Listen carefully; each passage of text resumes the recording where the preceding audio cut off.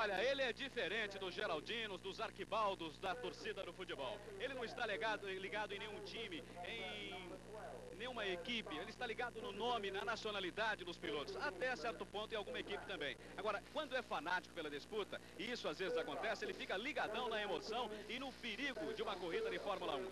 Ele existe há pouco tempo no Brasil. Você sabia disso? No máximo 15 anos. Sabe quem é ele? É o torcedor de Fórmula 1. Você conhece este tipo? Vamos deixar que nossos olhos, através da câmera, passeiem por Jacarepaguá. Primeira constatação: o torcedor de Fórmula 1 tem um poder aquisitivo acima da média, considerando os esportes populares no Brasil. Muita mulher bonita, uma das características do lugar.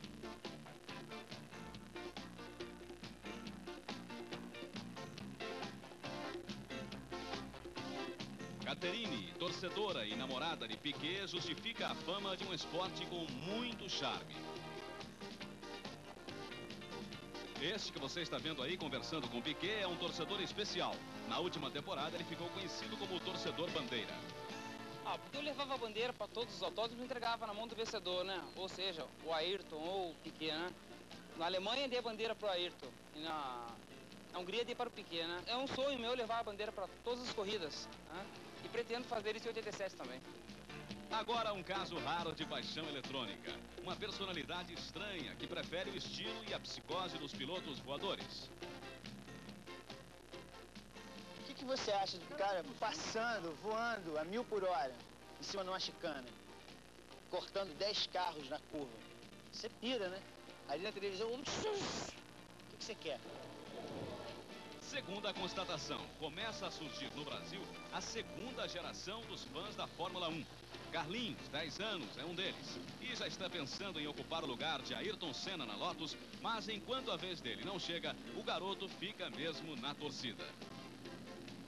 Sempre vejo a Fórmula 1 pela televisão e gravo para ver como é que se faz as curvas, as freadas.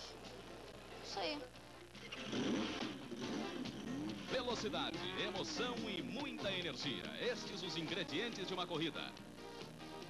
Aqui o torcedor vem para vibrar a maneira enlouquecedora dos anos 80. Aqui dentro, totalmente diferente, né? Vendo esse treino assim dos caras. 30 carrinhos aí, um desses loucos. Qual é do barulho?